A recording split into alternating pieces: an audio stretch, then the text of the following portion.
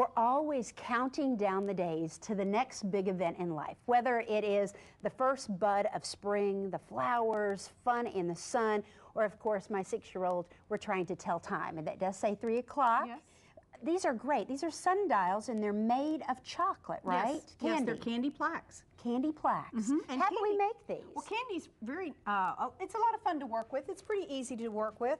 And you also have a lot of molds out there. So, you know, if you're doing, like we're doing kind of fun in the sun, there's those, but there's And also the sports. and the yeah, there's and all sorts of molds out there, and they'll usually show you how you can put them together either solid or with different colors. But we're doing in the gardening one today, and I've melted some candy melts, which is basically the craft chocolate, so you don't have These to are worry about these- the little pellets Mhm, They here. start out like little coins, Uh-huh. and you want to make sure you melt them on a lower power, like power three or power five. or like defrost, you can put it in Mm-hmm. You defrost? could put it on Okay. defrost. And I've just got this in a bottle, and I'm just going to squeeze this out, and I'm actually just, you know, you just keep squeezing and squeezing, and you could use a measuring cup if you wanted to. You could use a disposable bag. Um, it just seems like it's a little more controlled when you're actually uh, doing it out of the squeeze, squeeze bottle. But with the controlled, with the bag, you would actually just clip the tip Mm-hmm. and, and squeeze it out of the, the bag to make that Okay. possible, right? Now it looks kind of messy on the top, Right. so you want to pat it so you get rid of all the air bubbles that are in there, so you'll have a smooth look when you actually finish with it. And then if you want, you could put it in the refrigerator or the freezer just like that. But you could also make a lollipop out of it. So if you're going to make a lollipop out of it, you want to put the stick into it and kind of twirl it and give it a little tap so that it's really reinforced. Now I'm going to go get some I put in the fridge earlier.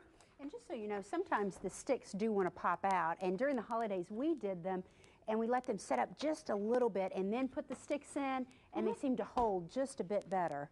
Now, when they're ready to come out, probably about seven to 10 minutes in the refrigerator. In the freezer, obviously, it's about half that time. But you'll see kind of the frosting underneath here. You'll actually see the candies kind of come away from the molds. Right. And you turn them upside down. Ooh, those are cold. And they come right out if they don't just give it a little bit of a twist. Where would you find these? What section? Would you find them in like Usually a in a baking craft section store. or a grocery store? Mhm, You can find some different types. Okay. And sometimes it's called bark. Bark, Now I've got I've melted these, and I think it's a pretty good consistency. I want just a small little tip uh, because I'm going to actually You're going to decorate I'm gonna, them, yeah, add I'm the gonna, detail. I'm going to add the detail. You could add the detail ahead of time, but I'm just dropping it there for his eyes.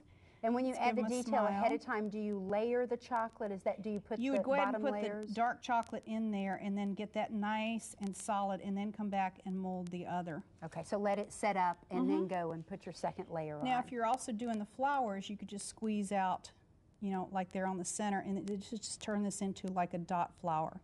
And what you is it, brown-eyed Susans that they? Yeah, I think they're actually black-eyed Susans. Black-eyed but if you want to have okay. brown-eyed Susans, that works for me. Let me just finish this. And this, so it's going to taste like white chocolate. It's, It's going just to taste just like right? chocolate. The only difference between this and real chocolate is it's a different type of fat in it so that uh, you don't have to worry about tempering it or having it what we call bloom. And bloom just means it turns white, so it's still good. And how long does it set up? In, That'll be set up in just a couple of minutes at room temperature. It sets up even faster in the fridge. Now, if you wanted to do your plaque, like you, we started out the showing the plaques, uh, what you could do is just use your baking pan and put a whole bunch of your candy melts in here, and this has been in the fridge, and just flip it out. and these would be cute, not only on these uh, candy melts or the plaques Mm-hmm. you made, but on the top of a cake. You could use the same candy, the same candy theme on the top of the cake as a sundial, or to put your suckers to gather them up and put Mm-hmm. them in the middle as an arrangement. And then to just put uh, them on the plaque, I'm just going to add a little bit of the candy. Here, I'll let you put him on. Oh, thank you so much. Here we're going to kind of cross. But this one's cute. This is really has a spring theme to it, or a garden theme, I guess you would say.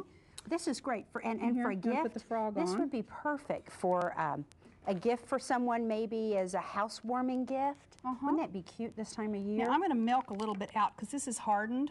okay, I could be neat and do it on a paper towel, but that gets rid it's of. the gotten a little bit hard. But I can put it back in the microwave. I'm going to start trying to write, and we'll see.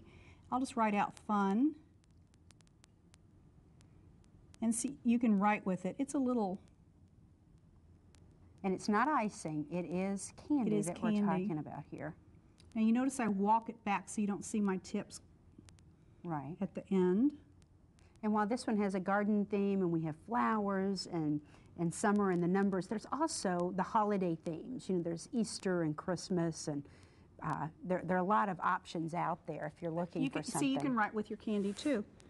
So there you go. Isn't that great? And now these, you've just attached them to a sucker, to a stick, With some, uh, I used white candy You- melt. it's and I probably should have used the red. but you can actually dip them in there. And then for the finished products over here, you have a mug. And now this mug, you have that the spring, the frog, the bumblebee. Yeah, some of the same ones we put on the plaque. with the garden thing. You know, something else these would be cute in would be one of those little terracotta pots. Mm-hmm.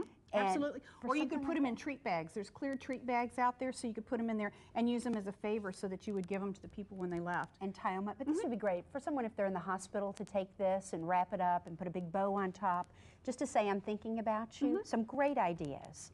And it's easy. It's quick and easy. Everyone in the family can do this.